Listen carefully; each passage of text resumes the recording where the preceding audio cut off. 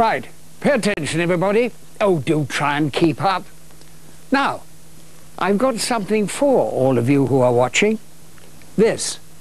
Now, I know it looks like an ordinary remote control, but it isn't. I've designed it so that if you press any of these buttons, you automatically get a Bond film on TV3. Look.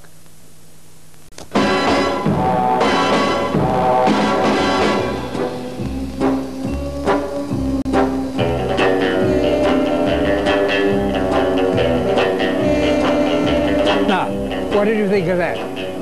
But the best thing of all is this new built-in gizmo. Now, if there's something that you don't like, all you have to do is to press the red button and you zap it away.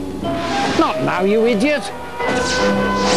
Oh, grow up. Bondfeberen raser. Se Ian Flemings klassikere i TV3's Bondkavalkade hver anden tirsdag.